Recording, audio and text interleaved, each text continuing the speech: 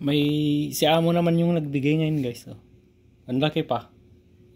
Uy, uy, sana all. Ano kaya itong binigay ni amo? Lagi kaya oh.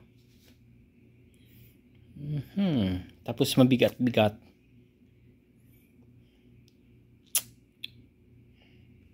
To, tara na.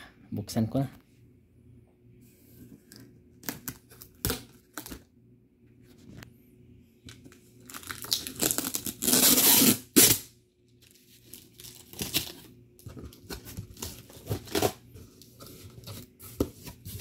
Uy, ano kaya ito?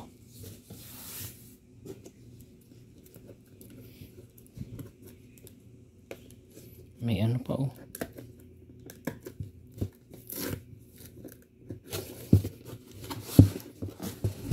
Ah. Bigat.